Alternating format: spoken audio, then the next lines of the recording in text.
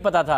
आपको लगता है जो कुछ हुआ है पिछले दो दिनों में, चाहे वो कोर कमांडर लाहौर का घर हो, इसके अलावा दीगर रियासती और हुकूमती हमने देखा इमारतें जलाई गई हैं आपको लगता है पॉइंट ऑफ़ नो रिटर्न है? इसके कॉन्सिक्वेंसेस भुगतने पड़ेंगे या पिछले आठ दस साल में जैसे मामला आगे बढ़ जाते हैं, वैसे ही बढ़ जाएगा उनके लिए?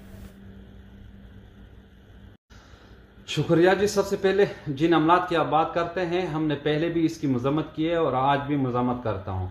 जिन्होंने भी सरकारी अमलात को नुकसान पहुँचाया है, इनको सज़ा देना चाहिए। मगर सवाल यह है कि ये सरकारी अमलात को नुकसान पहुँचाते वक्त पुलिस कहाँ थी? वो आँसू गैस कहाँ थी, जो इससे पहले पाकिस्तान तहरीक इंसाफ के सपोर्टरों पर बरसाती रही? वो रेंजर कहाँ थी, जो इमरान खान को पकड़ने के लिए तो आई मगर कोर कमांडर घर जलाते वक्त नहीं आ सकी? आखिर आप लोग कब तक लोगों को गुमराह करने की कोशिश करोगे?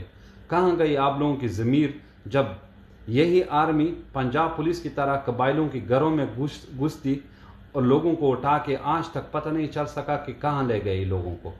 क्यों याद नहीं है वो सब कुछ जब बेनज़ीर बटू शहीद को सर पे गोली लग, मारने के बाद 25 बैंक चार हज़ार से ज़्यादा गाड़ियों को और ट्रेन ताने वगैरह वगैरह को जला दिए रेस्टोरेंट जला दिए, पच्चीस से ज़्यादा पेटियों में आग लगा दी और काम से आने वाले लड़कियों को रोडों से उठा के लेके गए, उनके इज्जतों के साथ खेल खेल दिए और बिलावल अपने प्रेस कॉन्फ्रेंस में कह रहा था कि पीपल पार्टी ने हमेशा कानून के दायरे में रहकर पुरमन एहतजाज किया। सबूत आपके सामने है, तस्वीरों में पेश है और आज शबाज शरीफ ने इस पीपल पार्टी को खराज तसीम पेश किया, मगर आप लोगों के मुँह बंद कर दिया गया है, क्योंकि आप लोगों की ज़मीर अभी जाग नहीं रहे और आप लोगों को जो लिपापे मिलते हैं उसकी उसकी वजह से आप लोग किसी का आवाज़ नहीं बन सकते। जहाँ आपसे आपसे कहा जाता है कि ये कहना है, वो कहते हैं, जो तुमको बोलते हैं कि बन, ये नहीं कहना है तो वो आप लोग नहीं कह सकते। ये आप लोगों का ज़मीर है। आज हमें गद्दार समझते हो।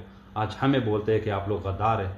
हम उस वक्त भी, आवाज़ नहीं उठा सका जब हमारे घरों में घुसते और इसी तरह लड़कियों को और लोगों को उठा के लेके जाते। हम देखते रहते हैं लेकिन जब हम ये बात करते कि हमारे साथ ये जुल्म होता है तो आप लोग इधर टीवी पे बैठ के ये कहते कि ये गद्दार है, हमारे फौज के खिलाफ बात करते हैं पाकिस्तान के खिलाफ बात करते हैं। आज आपने खुद देखा कि लड़कियों, औरतों को किस तरह बालों से पकड़ के रोडों पर घसीट रहे और आप लोग खामोश तमाशाई बने हुए एक कोर कमांडर का घर याद है, मगर जो लड़कियों के साथ जो कुछ हुआ, जो तानों में जो कुछ हो रहा है, लड़कियों के साथ, वो आप लोगों को याद नहीं है। ज़मीर मर चुका है।